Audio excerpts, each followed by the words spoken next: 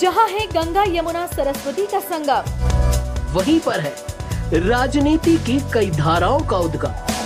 देश को दिशा देता एक प्रदेश। जहाँ से नेतृत्व पाता है अक्सर ये देश। ढेर सारी खबरों का खजाना है उत्तर प्रदेश। हम इन खबरों से करवाएँगे आपको रूबरू। देखिए भारतीय प्रौद्योगिकी संस्थान के चौवनवें दीक्षांत समारोह में मुख्य अतिथि के रूप में उपस्थित देश के यशस्वी प्रधानमंत्री जी, doctor K Radhakrishnan, chairperson, board of governance, IIT Kanpur, director IIT Kanpur professor Abhay Karinder Karandikar ji faculty members, students, अन्य गणमान्य अतिथिगण, आदरणीय प्रधानमंत्री जी का, आईआईटी कानपुर के इस दीक्षांत समारोह में प्रदेश के इस औद्योगिक नगर कानपुर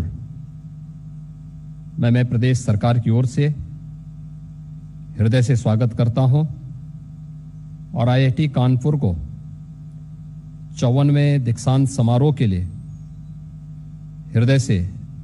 बधाई देता हूँ, अपनी शुभकामनाएँ देता हूँ। हम सब जानते हैं कि गुणवत्तापरक तकनीकी शिक्षा प्रदान करने में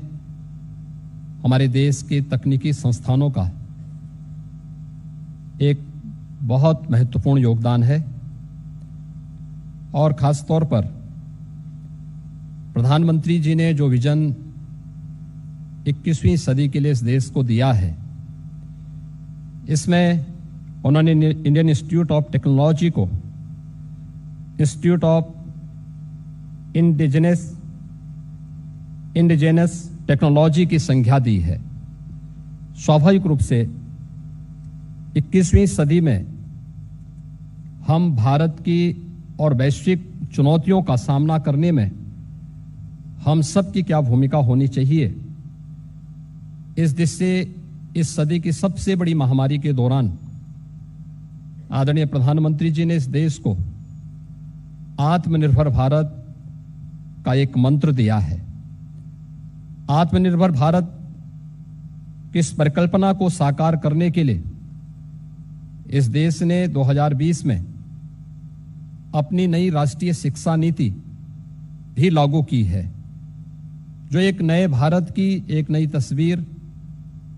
हम सब के सामने प्रस्तुत कर रही है। और मुझे बताते हुए प्रसन्नता है कि उत्तर प्रदेश इस देश से एक नई पहल आदरणीय प्रधानमंत्री जी के मार्गदर्शन में तेज़ी के साथ आगे बढ़ रहा है। यह हमारा सौभाग्य है कि प्रदेश में IIT Kanpur IIT BHU IIM Lucknow जैसी प्रतिष्ठित संस्थाएँ वर्तमान में मौजूद हैं, जिनके माध्यम से प्रदेश के संस्थाओं को, प्रदेश के युवाओं को एक नई मार्गदर्शन प्रदान करने में सदैव सहायता मिलती है। और आईआईटी कानपुर ने तो राज्य सरकार के साथ पारस्परिक सहयोग के अनेक उदाहरण भी प्रस्तुत किए हैं। चाहे वह प्रदेश के अंदर आदरणीय प्रधानमंत्री जी की मंशा के अनुरूप सेंटर ऑफ़ एक्सीलेंस स्टार्टअप की नीति को क्रियान्वित करने की दिशा स्थापित करने की कार्रवाई रही हो या फिर प्रदेश के अंदर डिफेंस मैन्युफैक्चरिंग कॉरिडोर में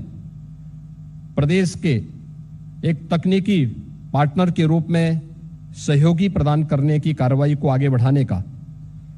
आज मुझे बताते हुए प्रसन्नता है कि प्रदेश ने सूचना प्रौद्योगिकी के साथ साथ गैर सूचना प्रौद्योगिकी के क्षेत्र में भी अपनी एक नई स्टार्टअप नीति 2020 लागू की है। राज्य सरकार द्वारा आर्टिफिशियल इंटेलिजेंस के क्षेत्र में देश का जो पहला centre of excellence, IIT Kanpur के नोएडा परिसर में स्थापित करने का निर्णय लिया था। यह केंद्र स्टार्टअप को बढ़ावा देते हुए पाँच वर्षों में